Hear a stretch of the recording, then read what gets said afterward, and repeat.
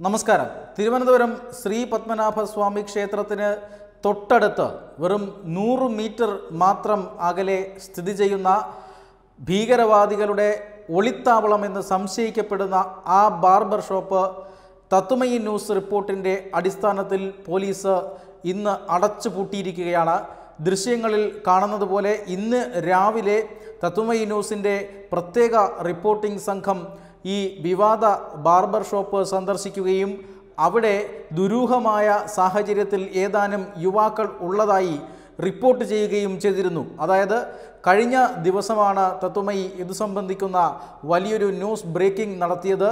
ശ്രീപത്മനാഭസ്വാമി ക്ഷേത്രത്തിന് തൊട്ടടുത്ത് ഒരു ബാർബർ ഷോപ്പിൽ അവിടെ എത്തുന്ന ഉപഭോക്താക്കളെ കബളിപ്പിച്ച് അവരുടെ ഫോൺ നമ്പർ കരസ്ഥമാക്കിയ ശേഷം അതിൽ വാട്സാപ്പ് അക്കൗണ്ടുകൾ ഓപ്പൺ ചെയ്ത് അതുവഴി ചില പാക് അനുകൂല സന്ദേശങ്ങൾ കൈമാറി എന്നതാണ് കേസ്. ഇതുമായി ബന്ധപ്പെട്ട രണ്ടുപേരെ കഴിഞ്ഞ ദിവസം ഫോർട്ട് പോലീസ് അറസ്റ്റ് ചെയ്തിരുന്നു.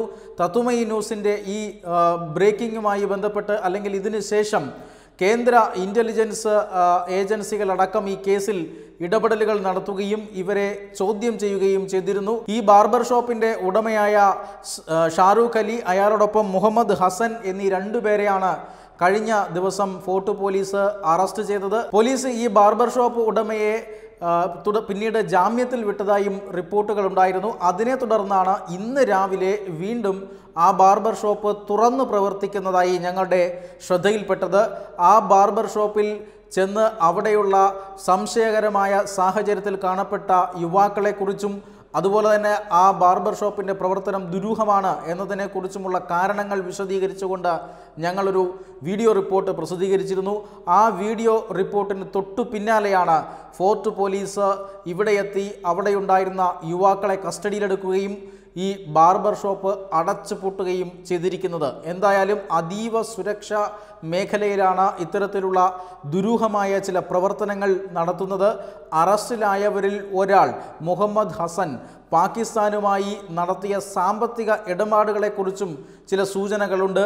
ഇതെല്ലാം ഒത്തുനോക്കുമ്പോൾ അതീവ സുരക്ഷാ മേഖലയായ പത്മനാഭസ്വാമി ക്ഷേത്രത്തിന്റെ ചുറ്റുവളപ്പിൽ ഇത്തരത്തിൽ ഭീകര പ്രവർത്തനം എന്നു തന്നെ സംശയിക്കാവുന്ന ചില പ്രവർത്തനങ്ങളുടെ സൂചനകളാണ് ലഭിച്ചിരുന്നത്.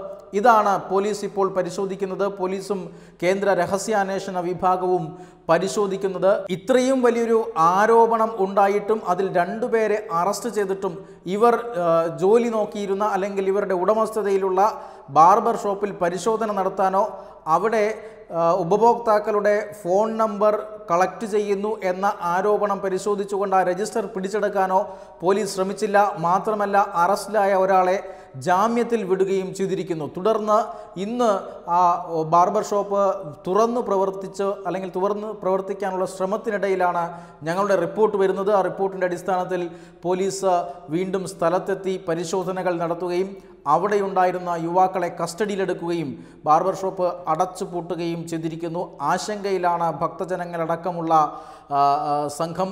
ഇക്കാര്യത്തിൽ പല വിദഗ്ധരും അല്ലെങ്കിൽ പല പത്മനാഭസ്വാമി ക്ഷേത്രവുമായി ബന്ധപ്പെട്ട് പ്രവർത്തിക്കുന്ന ആളുകളും ഇക്കാര്യത്തിൽ ആശങ്കയോടുകൂടിയാണ് ഭക്തജനങ്ങളടക്കം കാണുന്നത്. അതീവ സുരക്ഷ ഒരുക്കിയിട്ടുള്ള ഒരു മഹാക്ഷേത്രമാണ് തിരുവനന്തപുരം ശ്രീ പത്മനാഭസ്വാമി ക്ഷേത്രം.